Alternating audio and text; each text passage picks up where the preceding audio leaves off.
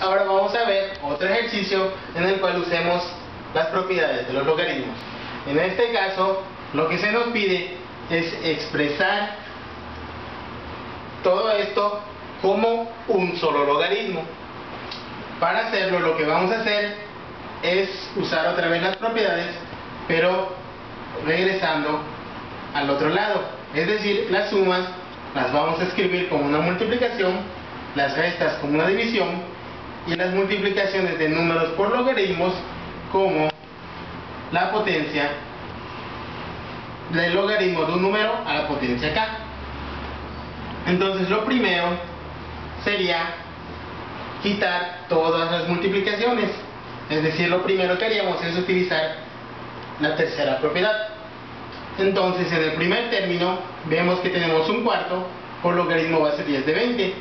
Aquí es donde podemos utilizar la tercera propiedad al revés.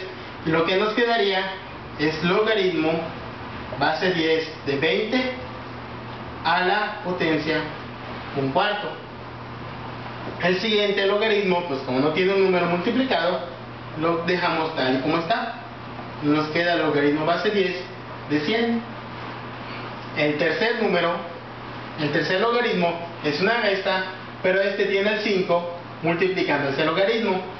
Y lo que hacemos es utilizar nuevamente esta propiedad para escribirlo como logaritmo base 10 de 15 a la potencia 5.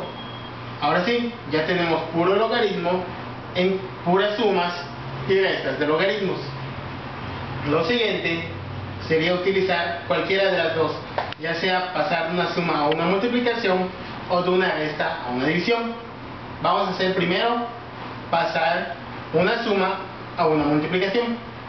Entonces esto sería igual al logaritmo base 10.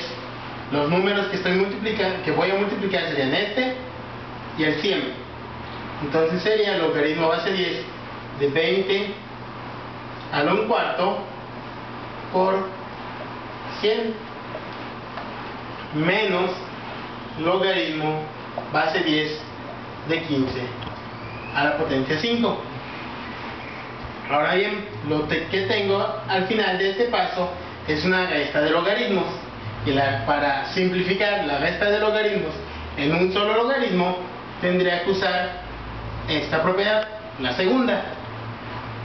Y eso nos quedaría el logaritmo base 10 de este que es el que le resto 15 a la 5 que sería el numerador 20 al 1 cuarto por 100 entre 15 a la 5 y así es como estaría quedando la expresión como un solo logaritmo entonces esta sería la respuesta del ejercicio entonces ¿qué fue lo que hicimos?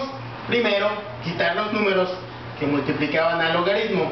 Es decir, primero utilizamos esta propiedad, luego quitamos las sumas que nos quedaban, expresándolas como una multiplicación.